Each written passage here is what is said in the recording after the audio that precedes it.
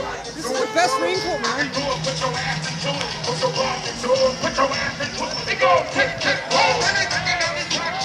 It's fucking insane. Look at the tiny apples on this tree, look. Look at that too.